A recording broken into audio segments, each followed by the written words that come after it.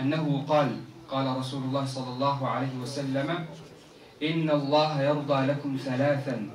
ويسخط لكم ثلاثا. يرضى لكم أن تعبدوه ولا تشركوا به شيئا وأن تعتصموا بحبل الله جميعا ولا تفرقوا وأن تناصحوا من ولاه الله أمركم ويكره لكم قيل وقال وكثرة السؤال وإضاعة المال. xadiidkan waa xadiid aad iyo aad u qiimo badan. Uu nebigu sala allahu calayhi wasalama uu ka waramayo waxa ilaahay subxaanahu wa tacaala addoommadiisa uga raali noqonayo iyo waxa ilaahay subxaanahu wa tacaala addoommadiisa haddii ay sameeyaan uu kaga caroonayo. Arrin koowaad oo tanbiiha u baahan fii hada alxadiidi waxa weeye in ilaahay subxaanahu wa tacaala uu usugan ay u sugan tahay sifatu alridaa wa sifatu alsakhati inuu ilaahay caroodo ilaahayna subxaanahu wa tacaala uu dadkiisa iyo addoommadiisa uu ka raali noqdo. Waa sifaat ilaahay u subxaanahu wa xadiidkan ilaahay subxaanahu wa nebiga ilaah buu u subxaanahu jala sha'nuhu. Qur'aankana way ku sugan tahay. Ilaahay subxaanahu wa wuxuu leeyahay laqad radiya allahu cani lmu'miniin ilahay wuxuu ka raali noqday mu'miniinta. Marka ilahay waa raali noqdaa. Raali ahaashaha ilaahay subxaanahu wa iyo carada ilaahay subxaanahu wa tacaala waa caro ilaahay u gaar ah wey laysa kamidlihi shay wa huwa samiicu lbasiir ilaahay waa caroodaa addoommadiisa waa u caroodaa ilaahay addoommadiisa waa ka raali noqdaa waa sifo ilaahay u sugan tahay subxaanahu wa ma ka nafyinayno laakiin qaabkay sifadaa u taalo waa mid ilaahay u gaar ah subxaanahu wa limaada ilaahay waa khaaliq wey annakana makhluuqiin nahay. Marka khaaliq iyo makhluuq meel iskaga yimaadaan oo iskaga mid noqonayaan ma jirto wey ina allaha yardaa lakum halaatha ilaahay wuxuu marka addoommadiisa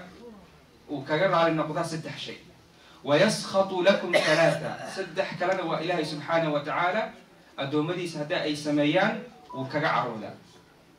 yardaa lakum ilaahay wuxuu addoommadiisa uga raali noqdaa an tacbuduuhu arrinka koowaad waxa weeye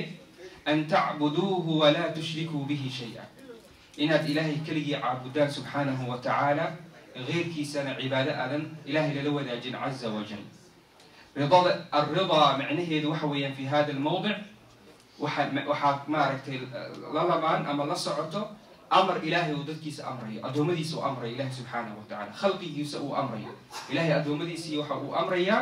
inay ilaahay keligii caabudaan an yacbuduuhu inaad ilaahay keligii caabudaan subxaanahu wa tacaala walaa tushrikuu bihi shay-a geyrkiisana ilaahay subxaanahu wa tacaala inaan cibaadada la wadaajinin waa shayga koowaad wey shayga labaadna waxa weeye ilaahay subxaanahu wa tacala addoommadiisa kaga raali noqdo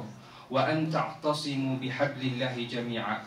xariga ilaahay subxaanahu wa tacaala inaad wada qabsataan inaad xariga ilaahay aada ku midoodaan inaad ku kulantaan ilaahay kitaabkiisa iyo sunnada nebi maxamed sala allahu calayhi wasalam waa arrin muhiima jiddan weyn oo baraarujin u baahan haddaan nahnay ummadda soomaaliyeed iyo ummadda muslimiinta inaan mar walbaba isku baraarujino isxasuusino arrinkan uu ilahay nebigu sala allahu calayhi wasalam xadiidka uu ku tilmaamay. Waxaa ilaahay addoommadiisa kaga noqdo waxaa ka mid ah in lagu midoobo kitaabka ilaahay iyo sunnada nebi maxamed sal slam in ummadda muslimiinta ay midoobaan. Maaha inaad gooni goosad noqotid oo aad ma aragtay hooshaada iyo ummadda nebi maxamed aad ka goosato subxaanahu salawaatu rabbi wasalaamu caleyh aadan wax ku darsan.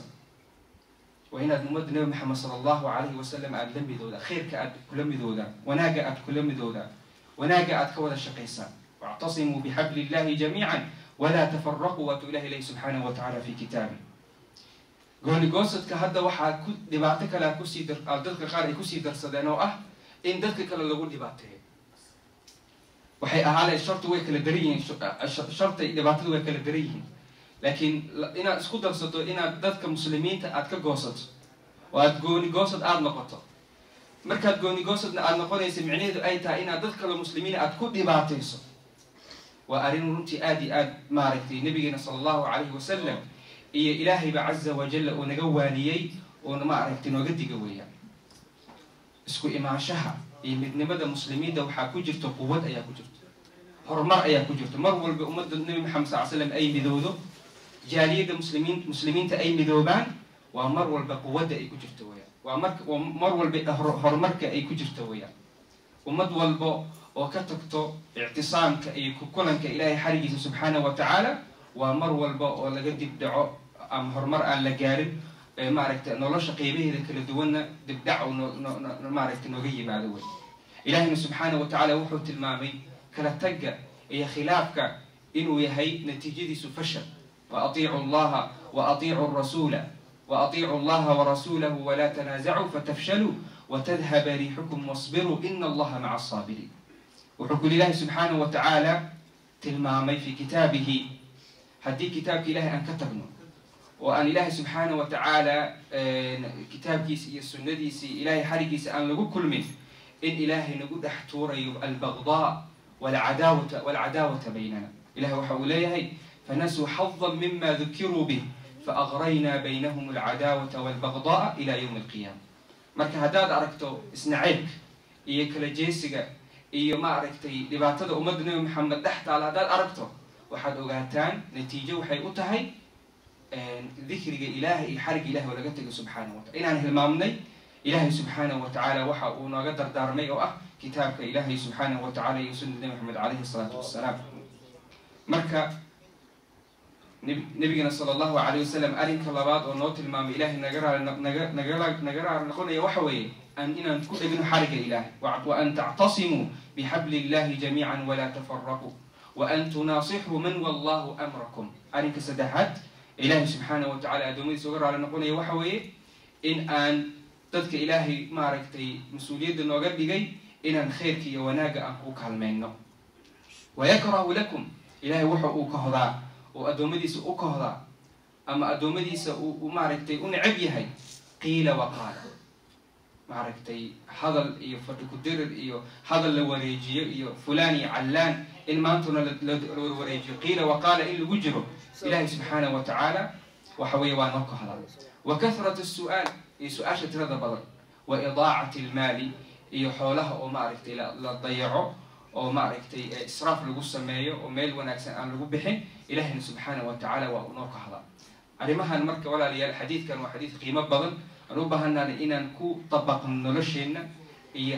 ahladeenna iyo guryaheenna iyo meel walba iyo ummadeenna iyo waddankeena iyo meel walba aan joogno awalan inaan ilahay keliya caabudno subxaanahu wa tacaala keyrkiisana cibaado aan lala wadaajin. Inaan ku kulanno kitaabka ilahay iyo sunnada nebi moxamed sala allahu calayh wasalam inaan dadka ilaahay umarada nooga dhigay kheyrka iyo kitaabka iyo sunnada nagu maamulayana inaan maaragtay aan aan ku garab istaagno.